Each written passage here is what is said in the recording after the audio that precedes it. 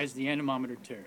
Brought to you by KY and Preparation H. Because here at Two Cows, the KY will help you through your day, and the Preparation H will help you with recovery.